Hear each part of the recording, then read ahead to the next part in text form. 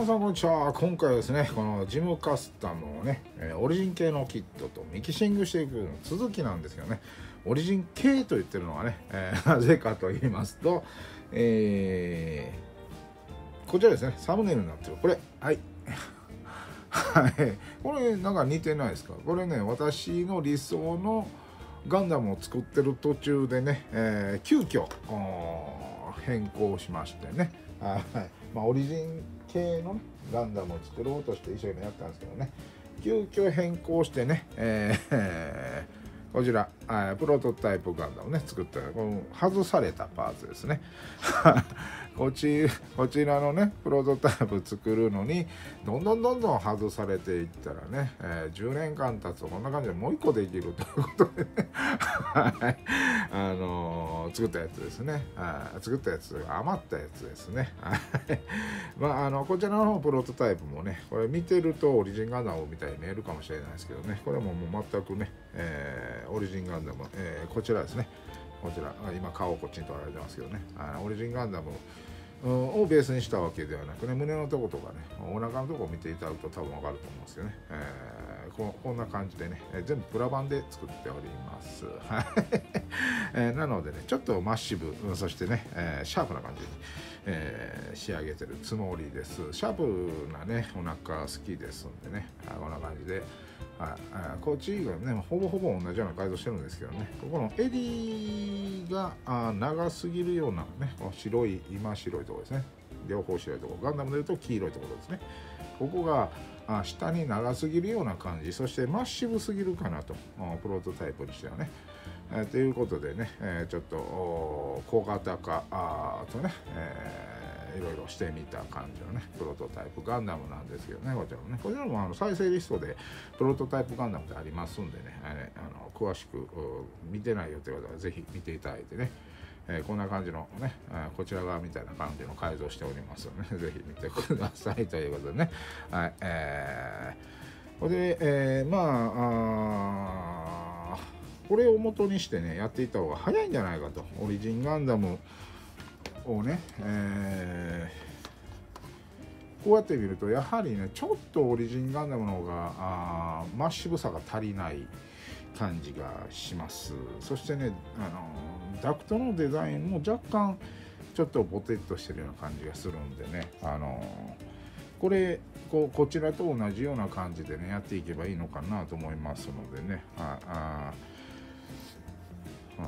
ベースとなったねこのキット使おうかなということでね。これだとねかなりマッシブで似たようなイメージになるんじゃないかなと思います。腕とかもねあのどちらを使うかっていうのはあるんですけどこれがちょっとねなんかなぜこの構造になってるかわかんないのもありますしこの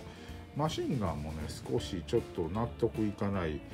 えー感じがするんですね私からするとね。まあなのでちょっとリファインしながらね私なりのジムカスタム作っていこうかなという感じなんですね。なのでねあのまああ関節もねあのなんていうんですかねちょっとこの今アムロ・レイ準位用のねガンダムと関節がちょっと違います昔のやつですんでねはい、えーこちらの方が似合うんじゃないかなという感じもします。はい。で改造何をやってるかっていうのをちょっとね、えー軽くね説明していこうかなと。まああの型をね、えーこのプロトタイプと一緒でね、えー走行だけでこんな感じで動くようになっております。はい。これ別に私は改造したわけではなくね、えー先行量産型ガンダム、うん、78 1N でしたかね、まあ、あの機体番号はそんな感じのねオリジン MSD でガンダム出てるんですけどそれをね元にしてますんでねそして、えーヘビーガンダム、えー FA2 でしたかね、えー FA782 のヘビーガンダムを元にしてます。こちらもねこのプロトタイプも一緒です。えーそしていろいろね、えーミッシングしてあります。この膝とかはね、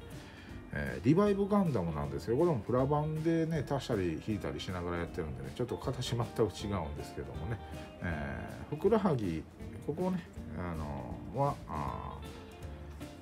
ーれですね、えー、その先行量産型みたいなね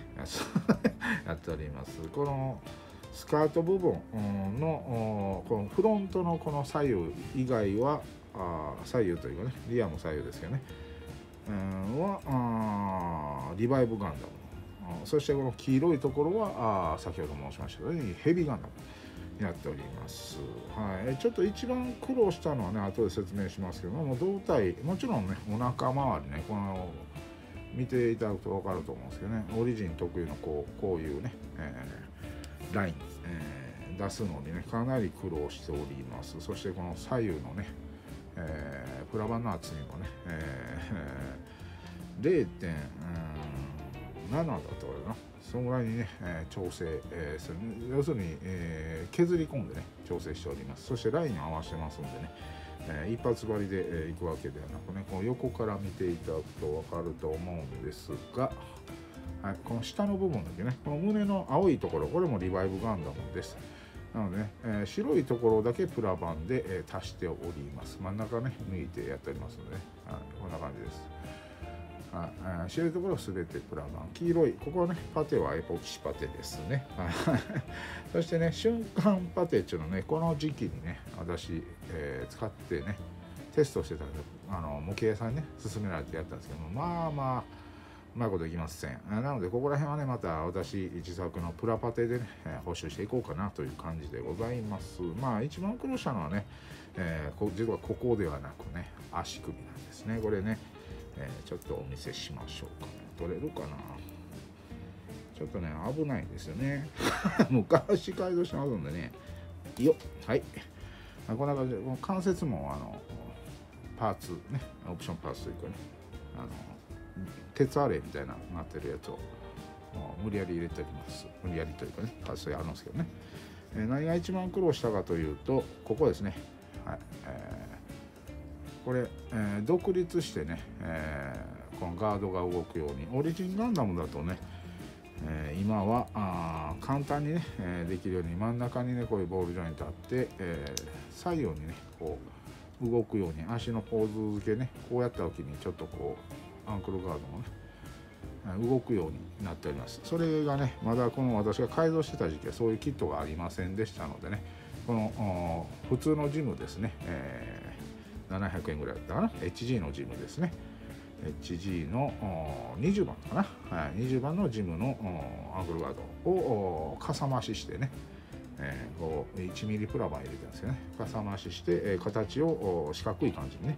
成形して、えー、そしてここねちょっと見えるかどうかわかんないですけどね。あのポリキャップ入れてねポリキャップで指示でこうポリキャップ自体がこう動いてね動く。うん、そしてこれはまあ左足ですのでね、えー、右にこう右というかねこうこう傾くことはね、えー、まあロボット上ないでしょうからね。この左にこう傾けばいいかなという感じで作っております、えー、そしてねこのソール部分。これは、えー、ジム2とか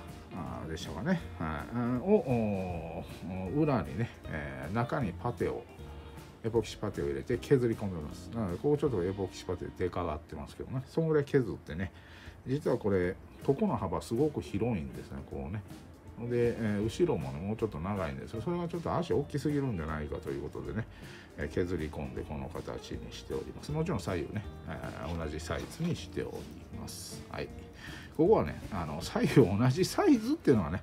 えー、しんどかったところですね。まあねこんな感じで、えー、この元にしてね、えー、このガンダム、うん、まあ廃棄ガンダムですね。私から言うとね。ああまあを元にして作っていこうかなという感じですね。ただねあのこれがね私 FG ガンダムのこのバックパック実は好きでね、え、よくプラバン足したりとかねポリキャップ足してねこれあのまあここをね2個1にして、えー、こうやってね取り外しできるようになってるんですけどね、はい、これもねあのすごくショルダーキャノンつけたくてね、えー、こんな感じでまだ処理してませんけどもね、はいえー、作っておりました、はい、まあオリジンのねショルダーキャノンがこうやってつくようにね、考えてねやっておりましたよ、はい、ちょっとつけたままでいきましょうか。こんな感じでね、はい。まあ、ガンダムとして完成させてもよかったんですけどね、はい、このオリジンガンダムはやはりね秀逸な出来だと思います。そして私の作ってたねこのこちらのねガンダムはやはりね、あのー、マッシブすぎる。ガンダムのね初期のガンダムにしてはちょっと強すぎるような感じがいたしましたのでね。あ、あのー、ジムカスタムと、ミキシングしてね、えー、ジムカスタムにしていこうかなという感じでございます。なのでねジムカスタムもこの胸がつり上がってたりとかねここはもう長くて外向いたりでこれもね私今やとちょっと違うんじゃないかって思っちゃうんでね。あの当時のデザインとしてはすごくねいいデザインだと思うんですけどもね、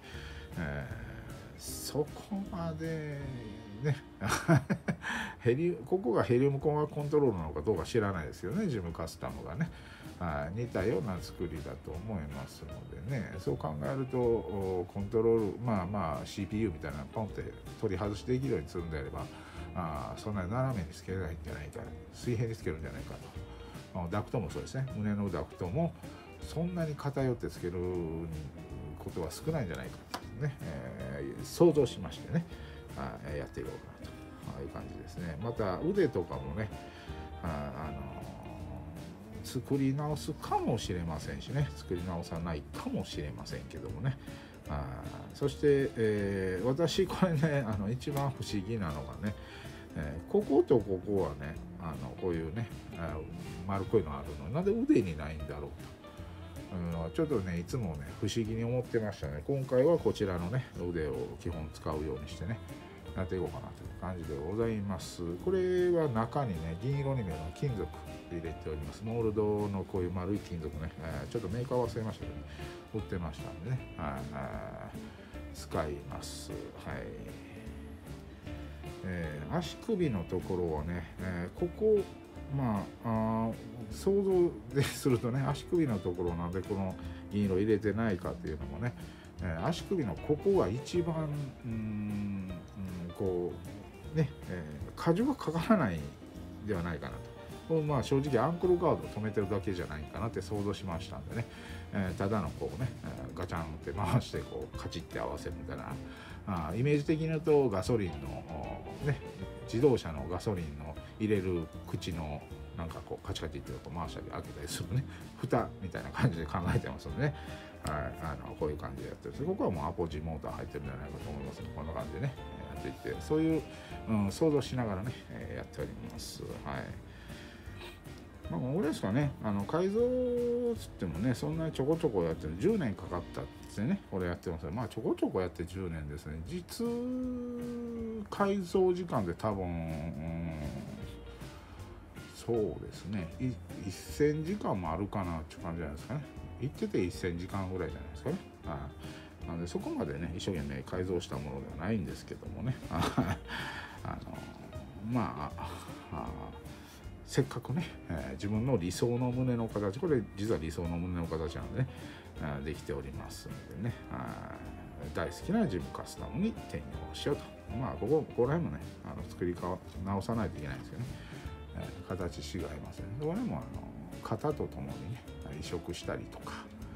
頭ももちろんね、えー、移植したりするのかな。ちょっとわかんないですけどね、はい、まああのマッチング見てからね